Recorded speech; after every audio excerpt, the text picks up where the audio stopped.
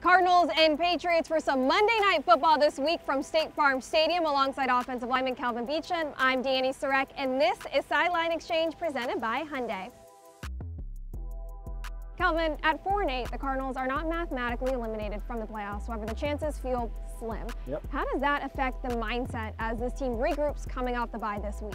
You know, the thing is, we have an opportunity to go 1 0 this week. So the focus is worried about this week and let everything else happens or happen as we get to it. But the focus is right now. Got a great opportunity in front of us. Got an opportunity to go 1 0 this week and let things, you know, kind of fall where they fall. Four of the five starting offensive linemen are on IR. They're the last man standing. Despite having eight different starting offensive line combinations, quarterback Kyler Murray has only been pressured on dropbacks the fourth fewest time in the league. What's been the biggest hurdle to overcome to have that consistent cohesion with all offensive linemen? You know, I think the thing is we have a great room. Uh, we have a great room of guys, the guys that know how to play the game, have played the game before.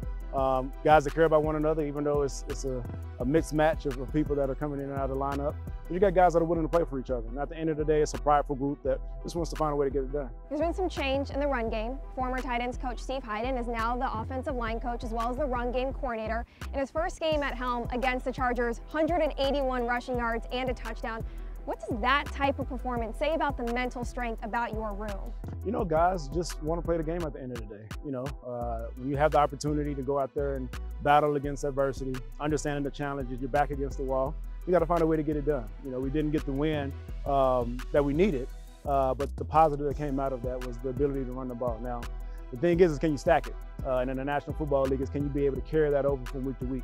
And hopefully we can carry some of the successes that we had in the last game and be able to have that on the field, um, you know, on Monday night.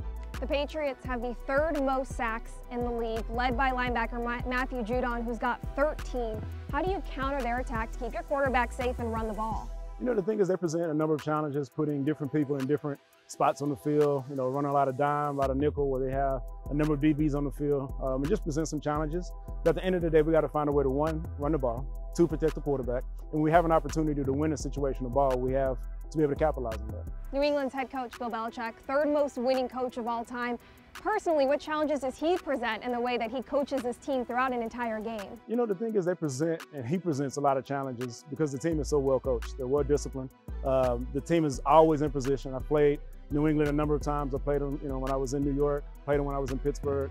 Um, he just always has the team in the right position to be successful. And at the end of the day, you have to let players play, but he does a phenomenal job of making sure his team is always in the right position to be successful. So we understand that, you know, we got to put ourselves in the right position. They got to put themselves in the right position and then let football players, you know, make plays. And hopefully we can make more plays than they do at the end of the game. How'd you spend your extra time during the bye week? Um, you know, did quite a bit of community work. Uh, so, you know, was able to present a check to um, to a friend of mine over United Food Bank. You know, had an opportunity to, to, to go and surprise her. Um, went down to Mexico for a little bit and, and got away for a little bit. Um, had the opportunity to uh, give away a couple backpacks um, earlier this week, and then yesterday uh, took some young people to United Aviate Academy. Um, and actually got to fly and do my first discovery flight, so it was, it was pretty cool. How was that? It was great. The plane was just a little tiny.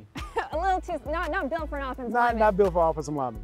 Always giving back to the community, Kelvin. Pretty no awesome. Cardinals fans, you can give back to the community as well by participating in the toy drive. Just bring an unwrapped gift to State Farm Stadium before the game. Monday kickoff is set for 6.15, and that toy could really make a difference in someone's life. Make sure you're also voting for the Pro Bowl games. Kelvin Beachum and some of his teammates are eligible to go to Vegas in February. You can vote on NFL.com or go to Twitter, tag the player, or just type their name with the hashtag Pro Bowl vote. Pro Bowl. Pro Bowl. For Kelvin Beachum, I'm Dani Sureck. Thanks so much for tuning in to Sideline Exchange.